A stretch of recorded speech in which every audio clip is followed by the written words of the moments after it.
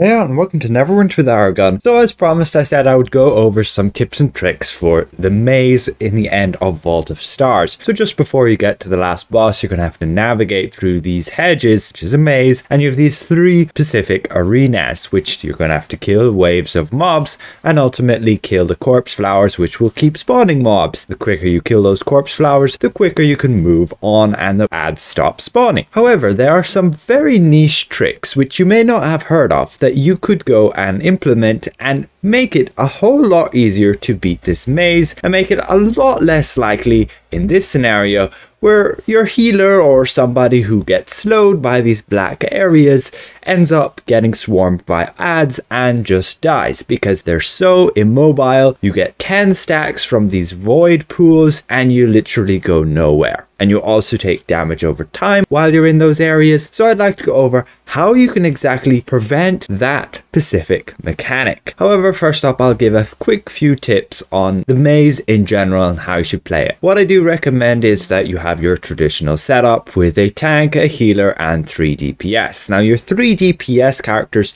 need to be going into the maze on their AoE builds and taking as many like stun powers as they can. Now, here on my rogue, I can afford not to, and thus I'm not using Smoke Bomb, but it's highly recommended that you do, unless you're running with a more experienced group, and then I'm running with like a Blitz and my Whisper Knife just output a little bit more damage. Otherwise, try and stick together as a group at the edge of the arena. By the hedge, you stick together, the tank will be out floating about a little bit further so as to make sure he's getting the attention of the ads first. Keep aware that your healer, the more he or she heals, the more aggro she will generate. And even if nobody's hit a mob, that mob will target the healer because she has the most threat because nobody has hit the mob yet. So be aware of that. And that's why you kind of group up together so that one or two of you might get hit but at least you'll be able to be all close to each other that you can kill the ads as quickly as possible as soon as they get close to you. And otherwise, the tank's a little bit out there, healer's keeping an eye out on them, and he's generally the first guy who can like hit the ads and thus make sure he has the aggro. And you do that, and as soon as the corpse flowers spawn, you're rotating around with each other and killing each corpse flower as you go try and kill the middle one first because there's no point in having that sitting there and spawning ads all the time. And otherwise, make sure you time your powers right. The Storyteller Journal, the Envenomed, is like a really good one for DPS to be using here. It'll have a damage over time effect, but the initial stun is huge, especially when there's a, like a big group of mobs and you stun them all, and then you can move up close to them and use your encounter powers and kill them. You can see with my demonstration here on like my rogue, you may have seen that I'm a little bit more reckless and that comes with experience as well. Just play a bit more cautiously. Don't like damage greed because you'll end up just killing yourself if you're way out there trying to hunt down mobs and then you just get like two hit by some nasty mob and you're dead and the healer's not keeping an eye on you because you're way off from the group. So these void pools, you can see again the clip here where we just have these void pools that are moving around. You also get the ones that are stationary spawn under your feet. Those are the most annoying ones. And essentially you take damage over time while within them and you end up moving so slow. Now, how to prevent these? Well, first you'll go into your initial area and you'll just kill your mobs. You won't have any black void pool there. However, once you go through your hedge, there are two ways you will spawn. You'll spawn in one area or the second area. Well, both areas have an exit door and you'll want to go through that. However, this middle area is the most important. This middle area is where you both group up. The group that spawns on, let's say, the right side, where there's a group of mobs right beside you. This is the most important area. And ideally, you would have an artifact that can stun, you could have a encounter power that can stun, and on the very right side or left side, depending on which side you're looking at, on the hedge there, there is a warlock mob. And this warlock will cast a power. And if he manages to cast this in time, he will create these void pools underneath your feet. Every now and again, they will keep spawning under your feet, give you the slow effect and the damage over time. So I'll give this to you real slow. So I enter through into the area I'm actually just ignoring these three group of ads because I know I need to kill the warlock ASAP. So I use my storyteller journal. You can see the warlock there. We go back a little bit and we pause it and you can see Elven Warlock. Clearly there outlined by my artifact, which I'm just casting. We cast it and it stuns the guy and then I'm not exactly sure where he is, but I'm just using my AoE powers and that goes and kills the Warlock and we don't get any void pools spawning under our feet whatsoever. And here's another example. Yes, you just saw that right. There is a trick where you can jump up on top of here and roll over if you have that said mechanic. If you don't, well, you gotta go through the door. Here, I do just kill the three ads and my teammates do end up going through the area you can see and I'm not aware of this warlock guy, which I've just hit now, and he goes and spawns the area by the door. You can see Nami is stuck there because the area has spawned. She's taking damage over time and you can see on the buff bar there on the left, you get those slow effects.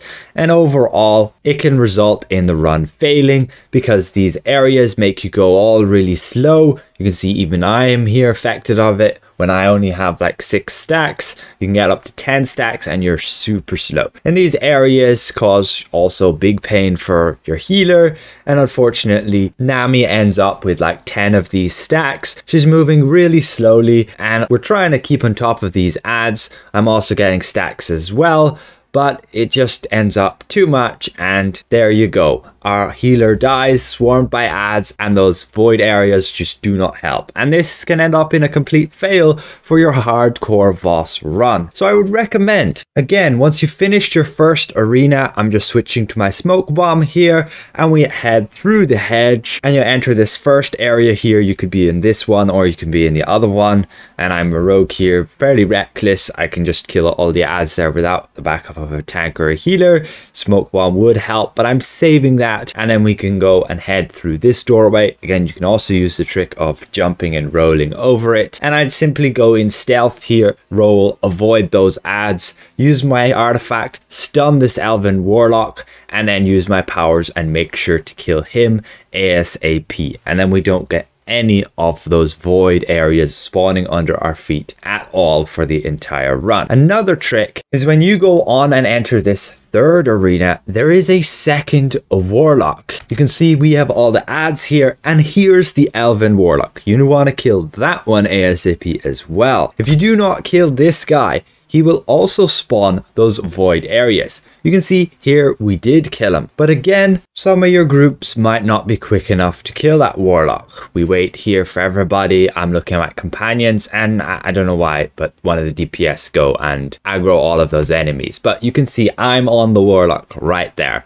If this warlock casts his power, which we can see he's doing, and he go ahead and he does so, we can see a little bit later in the same arena when we get these corpse flowers spawning, we end up getting these void areas that rotate around. They don't spawn under your feet and you can see ones there to the left not impacting us too much since again they don't spawn under your feet. They'll just rotate around. But at this point we have two of them now. We don't have the one spawning under our feet. They're just the moving ones and they occur from that second warlock.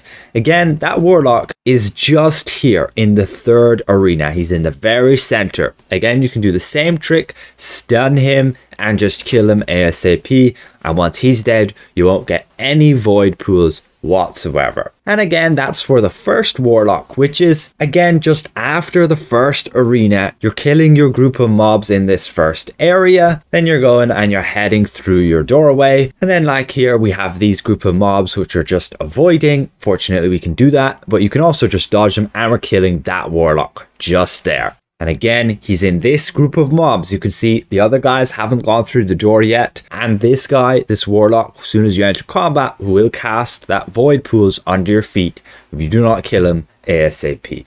So overall, hopefully that has been somewhat insightful with regards to my tips and tricks with the maze. It can be the most tricky part in the entire dungeon, especially on hardcore, for nobody to die. The other bosses just simply have mechanics, you do them right and no problem. There can be a lot of RNG in these maze arenas since these archers, these warriors can deal massive amounts of damage on just one or two hits and you could have two of them hitting you at the same time and you're gone. So you need to be really cautious and careful, stick to your healer, stick to your group and your tank should be out there a bit aggroing the mobs first and then bringing them to the DPS, and otherwise you just kill them all together. And ideally, your group does have a decent amount of CC along with area of effect damage. So with that said, I'd like to give a massive thank you to all of my channel members for helping me keep my channel going. And if I presented this well, consider leaving the video a like. And if you're new around here, consider subscribing. We'll see you guys around. Goodbye for now.